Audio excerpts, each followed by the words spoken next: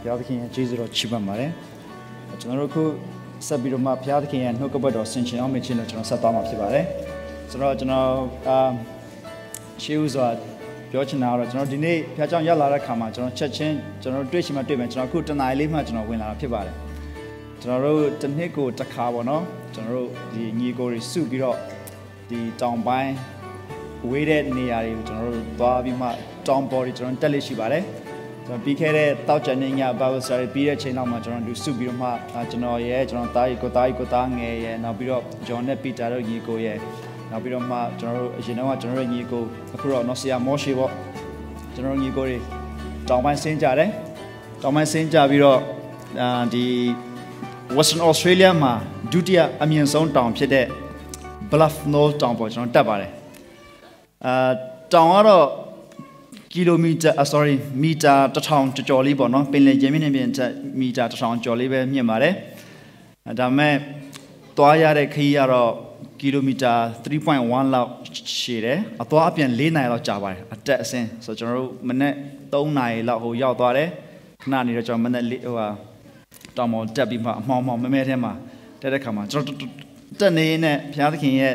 ကျေးဇူးတော်ဘုရားသခင်ဆင်ခြင်တဲ့တုံတင်တဲ့ရလေကျွန်တော်ဆင်ခြင်တာပေါ့နော် အဓိကတော့ကျွန်တော်ဒီသာသနာလလေးလေးဖြစ်တဲ့ခါမှာအဲ့ဒီသွားတဲ့ချိန်မှာကျွန်တော်ဘာဆင်ခြင်မိလဲဆိုလို့ရှိရင်ကျွန်တော်အယမ်းမောတယ်တက်ကာစားတော့ကျွန်တော်အပတ်တိုင်းဘောလုံးကန်လို့ကျွန်တော်တက်နိုင်မှထင်တာအယမ်းမောတယ်အခုကျွန်တော်ဒူးတွေဆိုကျွန်တော်တုံနေတယ်အခုကျွန်တော်ဆိုတော့မကျွန်တော်ဘာစဉ်းစားမိလဲဆိုတော့ဒီဆရာကြီးရတန်ဆိုလို့ရှိရင်သူတို့ကိုထောင်ရွှေ့တဲ့ခါမှာသူတို့ထောင်သားတွေရွှေ့တဲ့ခါမှာသူလမ်းအကြာကြီးရှောက်ရပြီးမှသူနောက်ဆုံးသူ့ရဲ့ဘဝနော်ဆရာကြီးရတန်သူ့ရဲ့ဘဝသူ give up သူစိတ်သက် ကြပြီးမှသူဘဝကိုအရှုံးပေးတော့မယ့်အခြေအနေထိသူရောက်ခဲ့ဘူးတယ်ဒါပေမဲ့သူအရှုံးမပေးခဲ့ဘူးကျွန်တော်တို့ကကျွန်တော်တို့နော်တောက်ရည်တန်းတွေနဲ့စားစရာမုတ်လေးတွေနဲ့ကျွန်တော်တို့ကျွန်တော်အရွယ်လောက်ပဲအဲ့ထောင်ကျွန်တော်တို့ငယ်ဦးမယ်အသက်20သူရောက်တာမြန်မာပြည်ကိုရောက်တာ25ပတ်ဝန်းကျင်ဆိုတော့သူအသက်30ပတ်ဝန်းကျင်မှာဖြစ်လိမ့်ဒါမဲ့သူရောက်အောင်သွားခဲ့တယ်သူခံနိုင်ခဲ့တယ် ခရစ်တော်အတွက်သာမဟုတ်ခဲ့လျင်ဆိုပြီးမှဆရာကြီးတန်ညီးတွားခဲ့တဲ့စကားလေးကဒီနေ့ထိကျွန်တော်ရှင်းတန်နေပြီးတော့ကျွန်တော်အသက်တာကိုစကားပြောတယ်ကျွန်တော်ဆင်ချင်းမိတယ်။နောက်ပြီးကျွန်တော်တနေရာရောက်တဲ့ခါကျတော့ကျွန်တော်တို့တော့ကောင်းမှန်တတ်ထားတဲ့မိတွေလက်နဲ့တက်မိမိတွေအကုန်လုံးပိတ်လိုက်ပြီးမှအမှောင်ရဲ့အရသာကျွန်တော်တစ်ချက်ခံစားလိုက်တာပေါ့။အဲ့ဒီအမှောင်ရဲ့အရသာကျွန်တော်တစ်ချက်ခံစားလိုက်တဲ့အချိန်မှာကျွန်တော်ဘာတွေ့ရလဲဆိုလို့ရှိရင်အားလုံးကမှောင်သွားတယ်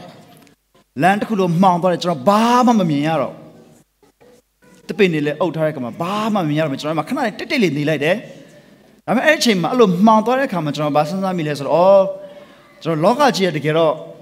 ဒီအပြစ်တရားကြောင့်အမောင်လောကတွေကိုကျွန်တော်တို့ကြာဆင်းနေတဲ့လောကကြီးဖြစ်တယ်အလင်းမရှိဘူးဆိုရင်ကျွန်တော်တို့ဘာမှလုပ်လို့မရဘူးသွားလို့မရဘူးဘာမှမမြင်ရဘူးအလင်းမရှိရင်ကျွန်တော်ဘာမှမမြင်ရတဲ့အတွက်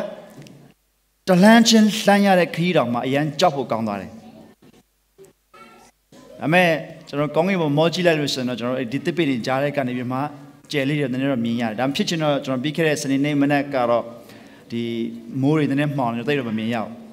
နာမည်အချိန်မှာကျွန်တော်အဓိကဆင်ချင်းမြင်ပါလဲဆိုရင်ဆာလန်119 105မှာဆာလန်ဆရာကနှုတ်ကပတ်တော်ကကျွန်တော်ရဲ့ခြေရှင်းမှာ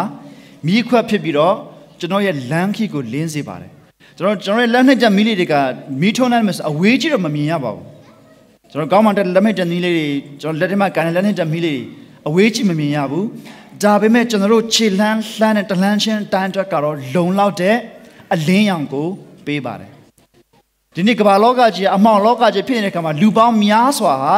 ဘုရားသခင်ရဲ့စကားအလင်းဖြစ်တဲ့ဘုရားသခင်စကားကိုမသိတဲ့ခါမှာအလင်းဖြစ်တဲ့ဘုရားသခင်ရဲ့စကားနှုတ်ကပတ်တော်ကိုမသိတဲ့ခါမှာမရတဲ့ခါမှာ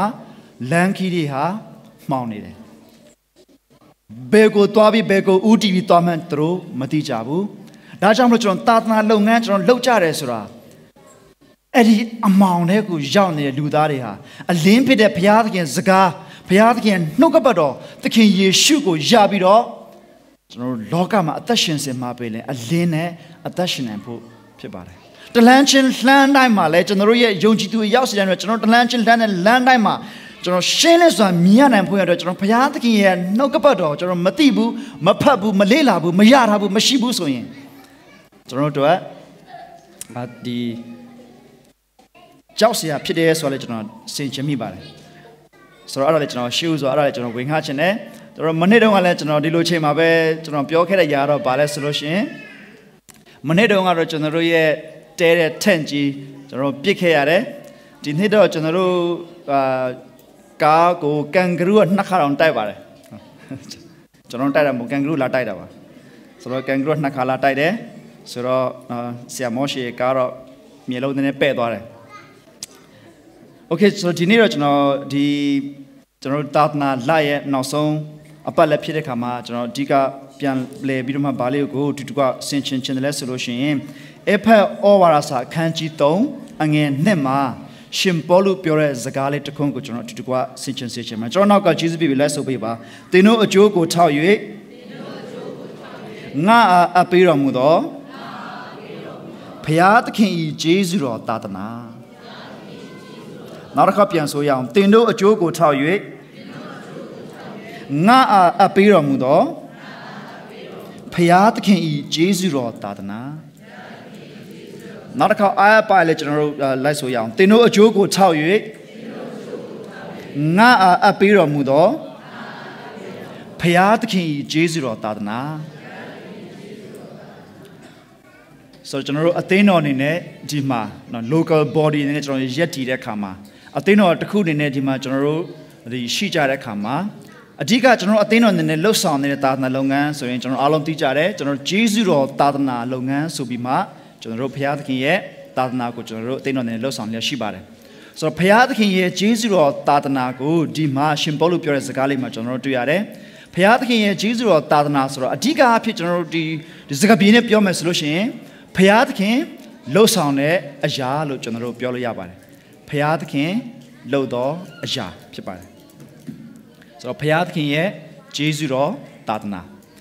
ဆိုတော့ဒီနေ့ဒီစကားလေးမှာเนาะကျွန်တော် Apple Overasa အခန်းကြီး3အငယ်1မှာရှင်ပေါလုပြောတဲ့သင်တို့အကျိုးကိုထောက်၍ဘုရားသခင်ငါ့ကိုအပ်ပေးတဲ့ဂျေဇုတော်သာသနာဆိုတဲ့စကားလေးကိုဒီနေ့ကျွန်တော်သာသနာလရဲ့နောက်ဆုံးအပတ်လေးပထမအပိုင်းလေးမှာ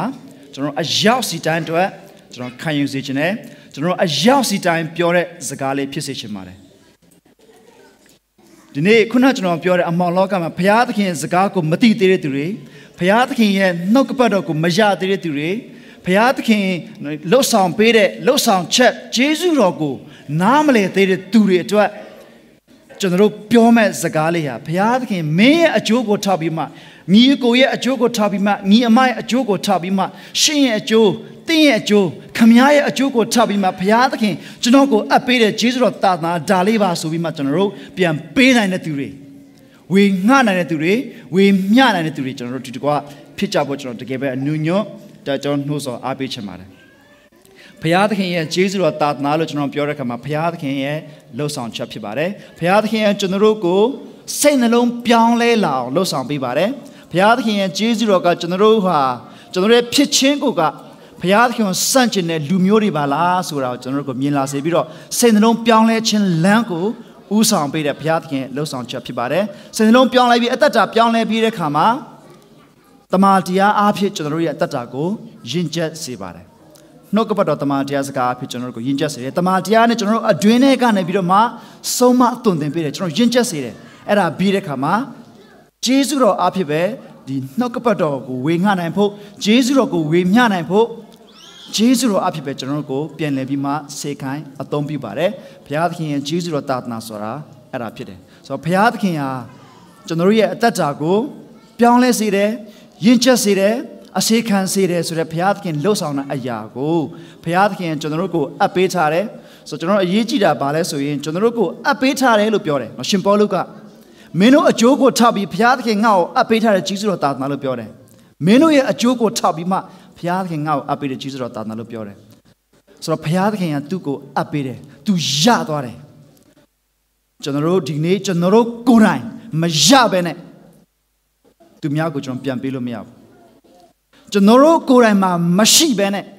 ကျွန်တော်တို့မှာမရှိတဲ့အရာကိုကျွန်တော်သူများကဘယ်လိုသွားပေးမလဲ ကျွန်တော်မှာမရှိတဲ့အရာကျွန်တော်တို့ကိုယ်တိုင်မရတဲ့အရာကိုကျွန်တော်တို့ဘယ်လိုပြန်ပြီးတော့မှဝေမျှနိုင်မှာလဲဆိုတော့လေကျွန်တော်ဆင်ခြင်စရာရှိပါတယ်ဆိုတော့ကျွန်တော်တို့ကြုံတွေ့လာရမယ့်သူတွေကျွန်တော်တို့နော်ဘုရားသခင်ကျွန်တော်တို့လမ်းမှာချပေးလာတဲ့သူတွေဒီနေ့အထူးသဖြင့်အ ਨੇ အ ਨੇ ဆုံးတော့ကျွန်တော်တို့အသင်းတော်မှာအတူတကွာမိသားစုတို့ရင်ဖြစ်နေအသင်းတော်မှာကျွန်တော်ကိုရင်ကားတွေအဖြစ်နဲ့အတူတကွာရှိနေပြီးမှဘုရားသခင်ရဲ့ဂျေဇုတော်တာသနာမှာပါဝင်ခွင့်ရနေပါတယ် ဆိုတော့ဘုရားသခင်ကကျွန်တော်တို့ကိုဂျေဇုတော်တာသနာအပ်ပေးထားပြီးပါပြီဒီနေ့ကျွန်တော်ကိုဘုရားသခင်အပ်ပေးထားတဲ့ဂျေဇုတော်တာသနာဒီနေ့တင့်ကိုဘုရားသခင်အပ်ပေးထားတဲ့ဂျေဇုတော်တာသနာ तू ကြားစေခြင်းနဲ့ तू ကြားပြီးပြီလားအဖက်အသင်းသူသင်းသားတွေအဖက်မြို့သားတွေကတော့သူတို့အတွက်ဘုရားသခင်အပ်ပေးထားတဲ့ဂျေဇုတော်သာသနာရှင်ပေါလုကိုအပ်လိုက်တဲ့ နော်အဖက်မြို့သူမြို့သားတွေအတွက်ရှင်ပေါလုကိုအပ်လိုက်တဲ့ဘုရားသခင်ရဲ့ဂျေဇုတော်သာသနာကိုအဖက်မြို့သူမြို့သားတွေကြားခွင့်ရခဲ့ပါတယ်ဒီနေ့ကျွန်တော်တို့ကိုဘုရားသခင်အပ်ပေးထားတဲ့ဂျေဇုတော်သာသနာကိုကျွန်တော်တို့အားဖြင့်ဘုရားသခင်ကြားစေခြင်းနဲ့တူကြားပြီးပြီလားဆိုတော့လေကျွန်တော်တို့အတွက်ဆင်ခြင်စရာရှိပါတယ်ဒါဆိုရင်ကျွန်တော်တို့နောက်တစ်ခါတော့ဂျမ်ပိုက်လေးတူတူကဆိုရအောင်သင်တို့အကျိုးကိုထောက်၍နော်ကြဲကြဲလေးပြောရအောင်နော် အားရပါရအားရှိတယ်မလားနော်ကျွန်တော်ဒီမှာနော်ကျွန်တော်နည်းနည်းလေးအဲ့ရတည်တော့မှကျွန်တော်အများကြီးကြဲပြောနေပါတယ်ကဲနောက်တစ်ခါအားရပါကျွန်တော်ကျွန်တော်တကယ်ကြဲကြဲလေးပြောရအောင်သင်တို့အကျိုးကိုထောက်၍အာငါကိုအပ်ပေးတော်မူသောဂျေဇုဘုရားသခင်ဂျေဇုတော်တာသနာ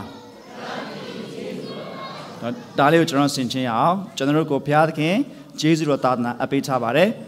တာသနာလဖြစ်ပါတယ်ဒါပေမဲ့တာသနာလဖြစ်လို့ဒီလကုံသွားရင်တော့လုံးဝတော့ ကျွန်တော်တို့မေးလိုက်မဲ့အရာမျိုးမဟုတ်ဘူးဒါကျွန်တော်ပုံမှုပြီးတော့မှကျွန်တော်တို့ focus ထားပြီးဆင်ခြင်လို့ရအောင်ကျွန်တော်တို့ဆင်ခြင်ကြတဲ့လဖြစ်တယ်အလောကကြီးကမှောင်နေတယ်လူတွေဟာအလင်းကိုလိုအပ်နေတယ်လူတွေဟာအလင်းရဖို့လိုအပ်နေတယ်ကျွန်တော်တို့ရှောက်လာတဲ့လမ်းတွေမှာတလန်းချင်းတလန်းချင်းနဲ့မြင်နိုင်ဖို့ရန်အတွက်ကျွန်တော်အလင်းလိုအပ်နေတယ်။တော့ယောမထဲမှာဆိုဤလောကဟာဘုရားသခင်သားတို့ပေါ်ထွန်းခြင်းကိုအလွန်တောက်တလျက်ရှိတယ်လို့ပြောပါတယ်။ဒီလောကဒီနေ့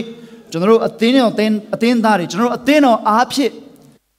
ဂျေဇုတော်သာသနာကိုကြားဖို့ရန်အတွက်စောင့်နေတဲ့သူတွေအများကြီးရှိနေပါတယ်။သင်အားဖြင့်ယေရှုတော်ရဲ့သာသနာကိုကြားဖို့စောင့်နေတဲ့သူတွေရှိပါတယ်ကျွန်တော်အားဖြင့်ဘုရားသခင်ရဲ့ယေရှုတော်သာသနာကိုကြားဖို့ရတဲ့စောင့်နေတဲ့သူတွေရှိပါတယ်ဒါလေးကိုကျွန်တော်ဒီကွာဆင်ခြင်နဲ့ကျွန်တော်သာသနာသာသနာလရဲ့အာဒီနောက်ဆုံးပတ်ပထမပိုင်းလေးမှာဒါလေးကျွန်တော်ပြန်နေပြီးမှဆင်ခြင်ချင်ပါတယ်တော့ဒီတစ်ခါတော့ကျွန်တော်တယောက်ကိုတယောက်လှည့်ပြီးတော့မှတင့်ရဲ့အကျိုးကိုထောက်ပြီးမှဘုရားသခင်ငါ့ကိုအပ်ပေးတော်မူသော ငါ့ကိုအပ်ပေးတော်မူသောဘုရားသခင်ရဲ့ကြီးစွာသာသနာလို့ကျွန်တော်တရားတရားချက်ပြောရအောင်နော်တယောက်နဲ့တယောက်အားရပတ်ပြောင်းကျွန်တော်ဘေးနားမှာလူလူတင်ကြိုးထပ်ပြီးမှငါ့ကိုအပိတဲ့ဘုရားသခင်ရဲ့ခြေစွတော်တာနာလို့